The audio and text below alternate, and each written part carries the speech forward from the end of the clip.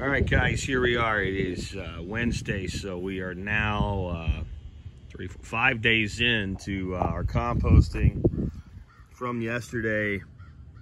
We're still sitting right at 160, maybe 161. You know, I say if you get over 160 by much, you need to turn it. Uh, I've never had to turn one of these. If And that is like, this is something else, because I had some questions and I'm hoping to answer today. That compost thermometer, I've probed all around in here and all around in here. And of the two bioreactors we built last Saturday, or this Saturday, I guess, really, um, that is the hottest spot I can find. So you are not going to get uniform heat throughout any compost pile, but especially one of these. So if that one, and I'll, I'll check here and there, you know, a couple times a, a, week, I'll move it around and see if I'm getting hot anywhere. And, and if it gets, like, if that hit 165, I'll take the garden hose and soak it down again. And that'll draw that heat back down. And by the time it builds back up again, we'll have gotten past it. This is really, really simple. Um, a lot of people asking like, you know, video showing how to make them or whatever. I plan on doing a class probably in January, uh, a local class. I'll have some material put together by then. We'll video that class. We'll probably make it available It's a very inexpensive course. I have a platform called LearnDash. I have a much larger course on something totally different that I want to release. And I need to learn LearnDash. I need to learn the platform. So I'm probably going to use it. It'll probably be like a $20 class and it'll probably, you know, online class and it'll probably be 10 bucks uh, for members of my MSB. I'll probably do a 50% discount on that one just to give people a look at uh, what my online education platform will look like. But I'm not going to hide anything. It's just some people want more information. So here's one of the things I did want to cover with you guys today. How these pipes are done. So I have some questions on those, exactly, you know, what's going on here. Understand, there's no, like, these aren't exactly a certain distance apart. That's just me by eye looking at it all this is, I took a chop. This is thin-walled drain pipe, right? Because it's cheaper than heavy-walled Schedule 40. That's the only reason I bought it instead of that. Um, then I took a chop saw, and you cut about halfway in. You could drill. It doesn't matter. You just need some airflow in there. Now, I'm about to explain an idea I had. I bounced it off Michael Whitman. I'm waiting to hear back from him. I think he's probably going to be positive to it, but a change that I would make. If you look most of these, they just have slits all the way the whole distance. If you look at this one, it has a much bigger gap on the top. This is one I made later because it doesn't need to have gaps up above the line of the compost. I would probably extend that a little bit more.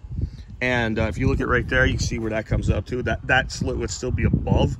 Maybe I would stop about as high as this slit for this idea. And that would be to actually fill the pipes with biochar.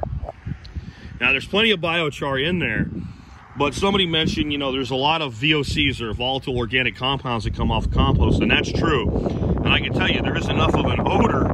It's not bad, it's not heavy, but there is enough of an odor to know, in spite of how much biochar is in there absorbing those VOCs, because this is a straight pipe up and out where this can breathe, there's more of it happening here. So my thought is, if we fill these pipes with biochar, and they go through this process and these volatile organic compounds, these VOCs, are coming up through this pipe and filtering through that biochar, it's going to come out a lot cleaner. There's a more important part of that, though. Those VOCs, and this is why composting isn't the uh, organic, earth-saving miracle that a lot of uh, eco-weenies think it is. There is an awful lot of CO2 and an awful lot of other organic compounds that off-gas when you compost. And when you do a bioreactor, it's not cold enough today to really see. You really see it though. When you see that steam pouring out of there, it's not just heat and it's not just the air and the oxygen. It's those VOCs coming off. The best thing would be to capture them because they're plant food. So if we were to be running through pipes full of biochar, we'd have beautifully inoculated biochar at the end. So my other idea is somehow we have to cap that end in a way that when we pull this pipe up and out, because like I said, you can just, right there, I could pull that pipe. I just pulled it up an inch, back down it goes. Not ready to pull it out yet. You can pull those pipes out. So you would then let them run for a few weeks until your core temperature began its decline, pull those pipes out, and that biochar is ready to use. Uh, if we did my idea I had yesterday where we attach horizontal pipes into a greenhouse, we could continue that biochar all the way through the pipe. Now you might say, why don't you go ahead and fill them up? I don't have enough. I have like one half tub of biochar right now because we added so much to the coop, I have to do some more burns. But by January, when I do my, my mini on-site class, it'll be part of my course, I should have enough to, you know, build one more bioreactor as far as material, and I should have enough biochar to fill all five, maybe even six pipes, because I think I'm gonna go to a six pipe model. I got some other ideas too about making these a little bit better.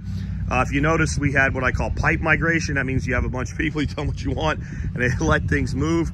We're getting a little bit of wafting there, you can see on that one, because of the way the wind's coming across, and it's in the shade, it's a little bit cooler, so you can see the steam. But you can see this one, like, these this pipe should really be about right here. So my other idea, and then I'll, I'll let you go for the day, is to take some pieces of rebar and stick them in the ground. This was actually one of the students' ideas. Put the pipes over the rebar. That will keep the pipes from being moved around as you're adding material. And that'll make it easier because I do these on my own sometimes and it's kind of a pain in the butt to try to hold these pipes and add the material. The other thing is you just take small flower plots and you put them over your pipes. And then that way, when you're adding material, material doesn't go down inside your pipe. But if you fill them with biochar first, you wouldn't really care. So anyway, there's progress on this. Lots of questions. If you want to try this, don't wait on me. All you do is add your material, get a layer about, you know, that deep, completely saturate it, then add another layer. And as long as you have enough carbon and nitrogen in there, you're gonna get compost. The other thing you do is, unlike a traditional compost, if you're using straw anyway, we have this brick here, we actually have people step on this and step it in and pack it down so that we can fill it up. And uh, trust me, it won't be a problem if you try that. Take care, guys. Any questions, post them in the comments. I'll see what I can do.